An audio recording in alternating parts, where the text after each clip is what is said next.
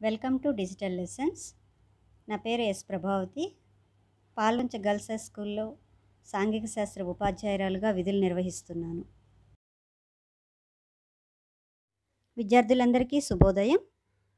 మనం క్రితం చెప్పుకున్న తరగతిలో అభివృద్ధికి నిర్వచనము అభివృద్ధి ప్రక్రియలో వ్యక్తులకు ఎదురయ్యే వివిధ ప్రశ్నలు సమాజంలో వివిధ వర్గాల ప్రజల యొక్క అభివృద్ధి లక్ష్యాలు అదేవిధంగా అభివృద్ధి లక్ష్యాలలోని రెండు భిన్న దృక్పథాలను కూడా మనం చూడడం జరిగింది. నేటి తరగతిలో మీ యొక్క అభ్యసన ఫలితాలు. అభివృద్ధిని నిర్ణయించే ఆదాయేతర అంశాలను తెలుసుకుంటారు. ఆదాయంను ప్రామాణికంగా ఉపయోగించి వివిధ దేశాలను ఏ విధంగా వర్గీకరించవచ్చో తెలుపుతారు. అభివృద్ధిని నిర్ణయించటంలో జాతీయ ఆదాయం కంటే తలసరి ఆదాయం మెరుగైనదని చెప్తూ కారణాలు తెలుపుతారు. పనుల విషపూరిత వ్యర్థ ద్రవ పదార్థాలను చెత్తపడవేసే బహిరంగ ప్రదేశంలోనూ పక్కన ఉన్న సముద్రంలోనూ పారబోసింది ఆఫ్రికాలోని ఐవరీ కోస్ట్ దేశంలోని అబిద్జావ్ అనే పట్టణంలో ఇది జరిగింది. అత్యంత విషపూరితమైన ఈ వ్యర్థ పదార్థాల నుండి వెలువడిన వాయువుల వల్ల తల తిప్పడం చర్మంపై దద్దురులు సృహతప్పి పడిపోవడం విరేచనాల వంటి సమస్యలు ఏర్పడ్డాయి. ఒక నెల రోజులలో ఏడుగురు చనిపోయారు. ఇరవై మంది ఆసుపత్రిలో ఉన్నారు. విషప్రభావానికి గురైన లక్షణాలకు ఇరవై ఆరు వేల మంది చికిత్స పొందారు. లోహాల ముడి చమురులతో వ్యాపారాలు చేసే ఒక బహుళజాతి కంపెనీ తన ఓడలోని వ్యర్థ పదార్థాలను పడవేయటానికి ఐవరీ కోస్ట్కు చెందిన ఒక స్థానిక కంపెనీతో కాంట్రాక్ట్ కుదుర్చుకుంది. ఈ కథనం ది హిందూ పత్రికలో రెండు వేల ఆరు సెప్టెంబర్ పదహారవ తారీఖున వచ్చినటువంటి కథనం. సో నాతో పాటు అందరూ కూడా చదివారు కదా? ఇప్పుడు మనము ఈ క్రింది ప్రశ్నలకు సమాధానాలు ఆలోచించుదాం. మొదటి ప్రశ్న దీనివల్ల ప్రయోజనం పొందిన వాళ్ళు ఎవరు? పొందని వాళ్ళు ఎవరు? ప్రయోజనం పొందిన వాళ్ళు ఎవరు? ఎవరైతే వ్యర్థ పదార్థాలను తీసుకొని వచ్చి వేరే ప్రదేశంలో పడేశారో ఆ వ్యర్థ పదార్థాలను తీసుకొచ్చిన వాళ్ళు ప్రయోజనం పొందారు. అలా ప్రయోజనం పొందినటువంటి వాళ్ళు ఎవరు? MNC company. పొందని వాళ్ళు ఎవరు? ఎక్కడైతే ఆ వ్యర్థ పదార్థాలు వేయబడ్డాయో ఆ ప్రాంతం వాళ్ళు ప్రయోజనం పొందలేదు. వాళ్ళు ఎవరు? ఆఫ్రికాలోని ఐవరీ కోస్ట్ దేశంలోని అబిర్జాన్ పట్టణ ప్రజలు.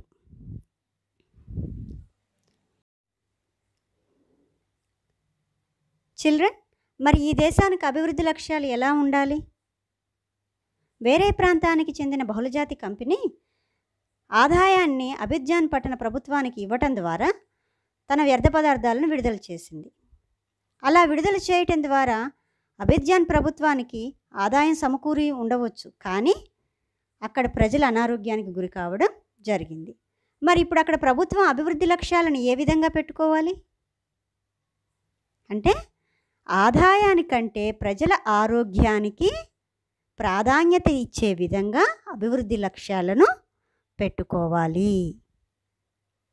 అంటే ఇప్పుడు ఆదాయం కంటే ఆరోగ్యం అనేది ఎక్కువ ప్రాధాన్యత పొందిందా లేదా? కాబట్టి ఆదాయం కంటే ముఖ్యమైనటువంటి లక్ష్యాలు మనకున్నాయి అని అర్థమైంది.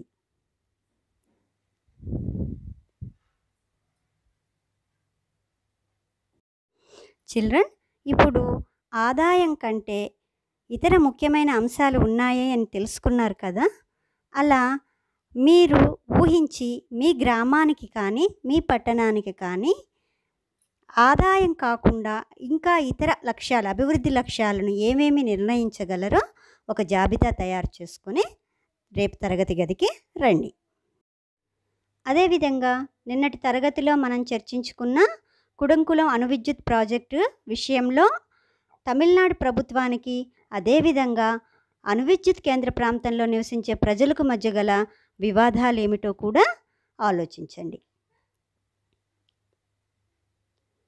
కుడంకులం ఉదాహరణే కాకుండా మీ ప్రాంత పరిధిలో ఇటువంటి భిన్న అభివృద్ధి విధానాలకు సంబంధించిన వివాదాలు ఏమైనా ఉంటే రేపు సమాచారాన్ని సేకరించుకొని తరగతి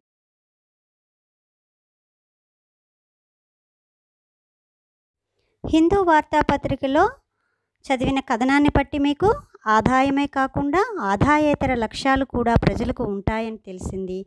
ఆ లక్ష్యాలు ఏమిటో మనం ఇప్పుడు తెలుసుకుందాం. అవి సమానత స్వేచ్ఛ భద్రత ఇతరుల నుంచి గౌరవం పొందటం వివక్షత లేకుండా ఉండడం. మరొకసారి చదువుతున్నానా ఒకసారి వినండి. ఆదాయం కాకుండా ప్రజలు ఏర్పరచుకునే ఆదాయేతర లక్ష్యాలు. వీటినే మనము ఆదాయాన్ని భౌతికాంశంగా పరిగణిస్తాము. ఆదాయం కాకుండా మిగిలిన వాటిని భౌతికేతర అంశాలుగా పరిగణిస్తాము. సో మీకు పరీక్షలో ఆదాయేతర లక్ష్యాలైనా రావచ్చు లేదంటే భౌతికేతర అంశాలు ఏమిటి అని కూడా మిమ్మల్ని అడగవచ్చు. సో వాటిలో సమానత స్వేచ్ఛ భద్రత ఇతరుల నుంచి గౌరవం పొందటం వివక్షత లేకుండా ఉండటం అనేవి భౌతికేతర లేదా ఆదాయేతర అభివృద్ధి లక్ష్యాలుగా ప్రజలు భావిస్తూ ఉంటారు.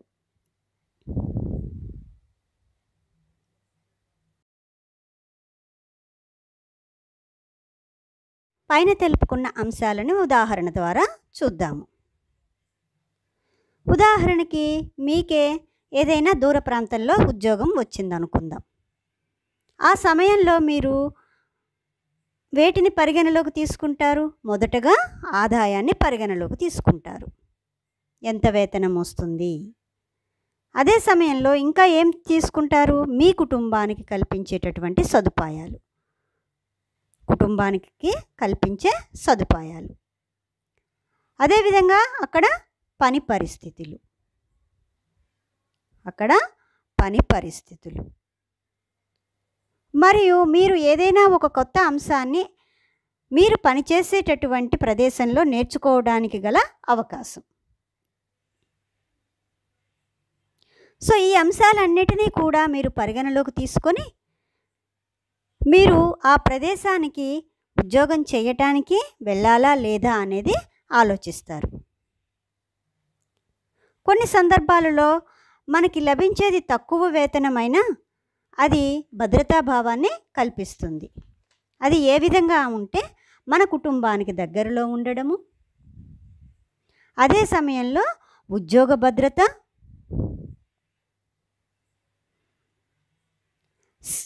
స్వేచ్ఛాపూరిత వాతావరణం. ఈ మూడు సందర్భాలలో జీతం మనకి వేతనం తక్కువగా లభించినా పని చేయడానికి మనము ఇష్టపడతాము. కాబట్టి ఇక్కడ అభివృద్ధిని నిర్ణయించేటటువంటి లక్ష్యము ఆదాయమే కాకుండా ఇతర అంశాలను కూడా మనం పరిగణలోకి తీసుకుంటామని అర్థమైంది.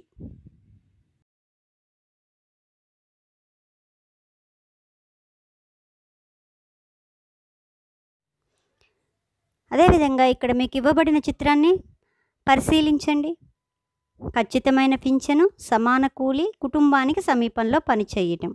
అనేటటువంటి అంశాలతోటి మీకు మూడు చిత్రాలు ఇవ్వడం జరిగింది. వృద్ధాప్యంలో ఉన్నటువంటి వ్యక్తి ఖచ్చితమైన పెన్షన్ కోరుకోవటం ద్వారా భరోసాను కోరుకుంటున్నాడు తన జీవితానికి భరోసాను కోరుకుంటున్నాడు. అదేవిధంగా గడ్డిమోపు మోస్తున్నటువంటి మహిళ తను చేస్తున్నటువంటి పనికి సమాన వేతనాన్ని కోరుకుంటుంది. అంటే ఇక్కడ దినసరి కూలీగా పనిచేసేటటువంటి వ్యక్తులలో వేతన తేడాలు వేతన వివక్షత ఉన్నది అని మనకి అర్థమవుతుంది. సాధారణంగా వ్యవసాయ కూలీ రేట్లలో ఆడవారికి ఒక వేతనము మగవారికి ఒక వేతనం ఇవ్వడం జరుగుతుంది. ఆ వివక్షతను ఈమె వ్యతిరేకిస్తున్నది. ఇక్కడ కుటుంబానికి సమీపంలో పనిచేయటం మనం ఆల్రెడీ ఇదివరకు చెప్పుకున్నట్టుగా తక్కువ వేతనానికైనా కుటుంబానికి దగ్గరలో ఉన్నట్లయితే ఒక భద్రత నిశ్చింత ఉంటుంది కాబట్టి కుటుంబానికి సమీపంలో పనిచేయటం ఆశిస్తున్నాడని మనం చెప్పవచ్చు.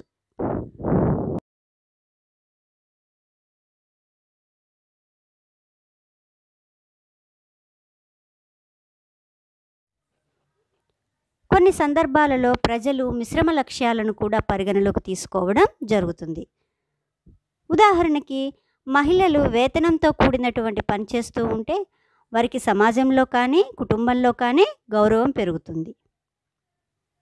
అదే సమయంలో వాళ్ళకు కలిగేటటువంటి లాభం అంటే మహిళల పట్ల గౌరవం ఉన్నటువంటి కుటుంబాలలో వారు చేస్తున్నటువంటి పనిని గుర్తించి మగవారు ఇంటి పనిలో సాయం చేయడం జరుగుతుంది. దీనివలన మహిళలకి బయట పని చేయడానికి మరింత ఆమోదం కూడా లభిస్తుంది. అదే సమయంలో మరొక మహిళలు బయటికి వెళ్ళి పనిచేయ పని చేయటానికి మరొక లక్ష్యాన్ని కూడా నిర్ణయించుకోవడం జరుగుతుంది. ఆ లక్ష్యం ఏమిటంటే పనిచేసేటటువంటి ప్రదేశం అనేది భద్రతతో కూడి సురక్షితమైనటువంటి వాతావరణం ఉంటేనే మహిళలకు ఉద్యోగాలు చేయటానికైనా వ్యాపారాలు చేయడానికైనా అవకాశం ఉంటుంది. ఇక్కడ గమనించండి రెండు మిశ్రమ లక్ష్యాలు ఉన్నాయి. ఒక మిశ్రమ ఒక లక్ష్యమేమో మహిళలకు ఉద్యోగం చేస్తున్నట్లయితే వారికి సమాజంలో కానీ గృహంలో కానీ గౌరవం పెరుగుతుంది అని చెప్పుకుంటున్నాము. వేతనం తీ వేతనం రావటం ద్వారా వాళ్ళకి ఉద్యోగం చేసేటటువంటి కుటుంబ పరంగా ఉద్యోగం చేయటానికి ఆమోదం కూడా లభిస్తుందని చెప్పుకుంటున్నాము. అదే సమయంలో మరొక అభివృద్ధి లక్ష్యం వారికి ఉండవలసినటువంటి అభివృద్ధి లక్ష్యము వారికి కనుక పనిచేసేటటువంటి ప్రదేశంలో భద్రతాపరమైన సురక్షితమైనటువంటి వాతావరణం లేనట్లయితే వారు పనిచేయడానికి ముందుకు రారు. కాబట్టి వారి దగ్గర వారికి ఉండవలసిన మరొక అభివృద్ధి లక్ష్యం ఏమిటి? పనిచేసేటటువంటి ప్రదేశంలో భద్రత సురక్షితమైనటువంటి వాతావరణము కల్పించటము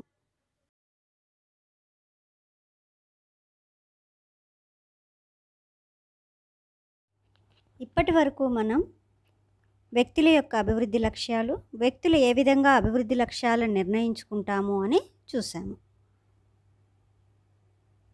మరి ఒక దేశం అభివృద్ధి చెందింది లేనిది అని తెలుసుకోవాలి అంటే మనం ఏం చేయాలి? వ్యక్తులకైనా దేశానికైనా అభివృద్ధి చెందారు లేదు తెలుసుకోవడానికి ముఖ్యమైన ప్రామాణికం ఆదాయాన్ని తీసుకోవడం జరుగుతుంది. సాధారణంగా దేశాలు కూడా సమగ్రంగా అభివృద్ధి చెందాయా లేదా అనేది తెలుసుకోవడానికి ఆదాయాన్నే ప్రామాణికంగా తీసుకుంటాము.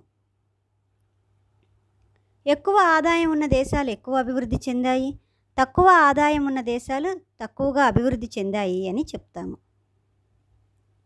అంటే ఇక్కడ ఎక్కువ ఆదాయం పొందుతున్నాయి అంటే ఆ దేశాలు ఆ పొందుతున్నటువంటి ఆదాయంతో ఎక్కువ జీవన ప్రమాణాన్ని పొందగలుగుతున్నాయి.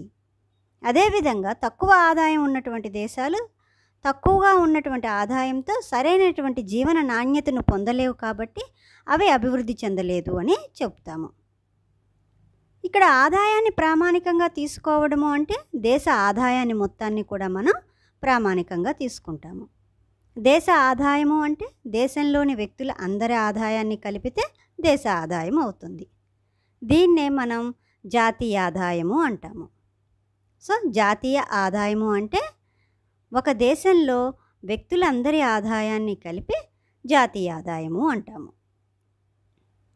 దీనినే మనము నిర్వచన రూపంలో చెప్పుకోవాలి అంటే జాతీయ ఆదాయాన్ని ఒక సంవత్సర కాలంలో దేశంలోని ప్రజల ఆదాయాల మొత్తాన్ని మనం జాతీయ ఆదాయంగా చెప్పవచ్చు.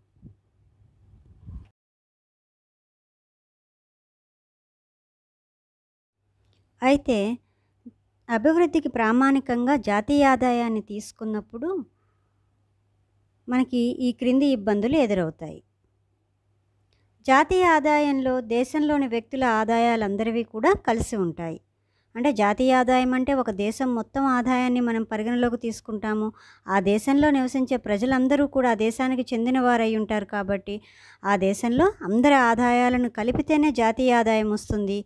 దాని వలన పది రూపాయలు సంపాదించేటటువంటి వ్యక్తి ఆదాయము అదేవిధంగా పది కోట్లు సంపాదించేటటువంటి వ్యక్తి ఆదాయము కూడా ఆ ఆదాయంలోనే కలిసి ఉంటుంది. రెండవది వివిధ దేశాల జనాభాలో తేడా ఉండడం వలన జనాభా అధికంగా గల దేశాలు అధిక ఆదాయం గల దేశాలు అవుతాయి. సో మనకు జాతీయ ఆదాయం ఎలా వస్తుంది? దేశంలో ఉన్న జనాభా ఆదాయం మొత్తాన్ని కలిపితే జాతీయ ఆదాయం వస్తుంది. ఒకవేళ దేశంలో జనాభా ఎక్కువగా ఉన్నారనుకోండి ఆదాయం పెరుగుతుంది. అంటే మనకి ఇక్కడ పెరిగినటువంటి ఆదాయము అనేది పెరిగిన జనాభా వల్ల వచ్చినటువంటి ఆదాయమే. కానీ అది ఆదాయాన్ని ప్రామాణికంగా తీసుకున్నప్పుడు అది అధిక ఆదాయం గల దేశంగా కనపడుతుంది.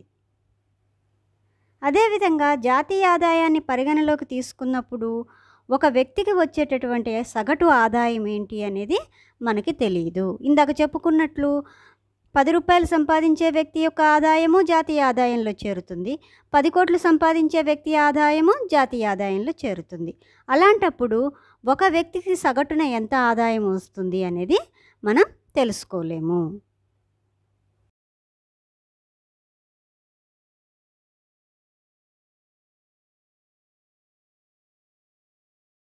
కాబట్టి జాతీయ ఆదాయంలో ఉన్నటువంటి అడ్డంకులను అధిగమించటానికి సగటు ఆదాయాన్ని ప్రామాణికంగా తీసుకోవడం జరిగింది. సగటు ఆదాయం ఎలా వస్తుంది మరి? జాతీయ ఆదాయాన్ని జనాభాతో భాగించినట్లయితే మనకి సగటు ఆదాయం వస్తుంది. అంటే దేశం యొక్క మొత్తం జాతీయ ఆదాయాన్ని ఆ దేశం యొక్క మొత్తం జనాభాతో భాగిస్తే ఒక వ్యక్తికి లభించేటటువంటి ఆదాయం ఎంతో మనకి తెలుస్తుంది. సో ఇక్కడ ఒక వ్యక్తికి లభించేటటువంటి ఆదాయాన్ని అంటే సగటు ఆదాయాన్ని పరిగణలోకి తీసుకొని మనం అభివృద్ధిని పోల్చడం జరుగుతుంది. ఈ సగటు ఆదాయాన్నే మనము తలసరి ఆదాయం అని చెప్పడం జరుగుతుంది. సో ఈ తలసరి ఆదాయం ద్వారా దేశాలు అభివృద్ధి చెందినవా చెందని దేశాలా అనేది వర్గీకరణ చేయడం జరిగింది. ఆ వర్గీకరణ ఎవరు చేశారు? ఆ వర్గీకరణ ప్రాతిపదిక ఎంత ఆదాయాన్ని తీసుకున్నారు? ఇవన్నీ కూడా మనం రాబోయే తరగతిలో చర్చించుకుందాం.